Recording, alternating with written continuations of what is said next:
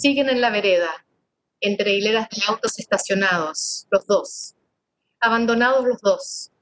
Ella empuja la silla alejándose del hospital, a ver si encuentra un auto que los saque de esas calles húmedas.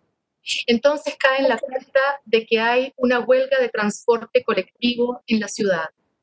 Los vagones de metro, los buses, los taxis, todos sus conductores parados en el centro, con pancartas.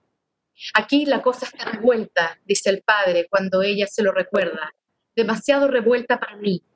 Huelga de aduanas, de transportes, y se anuncia una del Colegio de Arquitectos para el lunes, de los profesores para el jueves, y otra marcha de los secundarios, de los inmigrantes, de cientos de mujeres violadas y golpeadas y asesinadas en este país, y robos de bancos, puentes que se caen, sequía, políticos corruptos y sinvergüenzas.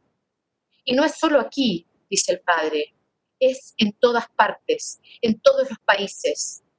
Parece mentira que la Tierra siga rodando entera. ¿A cuántos segundos estaremos de la debacle mundial? ¿A medio minuto? dice, levantando una voz de pájaro herido.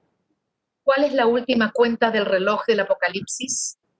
Pero ella no le responde, no puede hablar. Ese padre todavía escaso de glóbulos, pero lleno de energía. Ese padre resucitado está diciendo que, el, el futuro tiene color de hormiga, que quiere irse a otro planeta.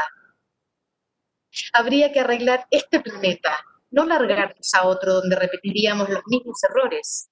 Los mismos errores, repite el padre. ¿Qué errores podríamos reparar? ¿Por cuál empezarías tú? Pregunta con la vista perdida, cerrando sus ojos ensoñados anémicos por ver por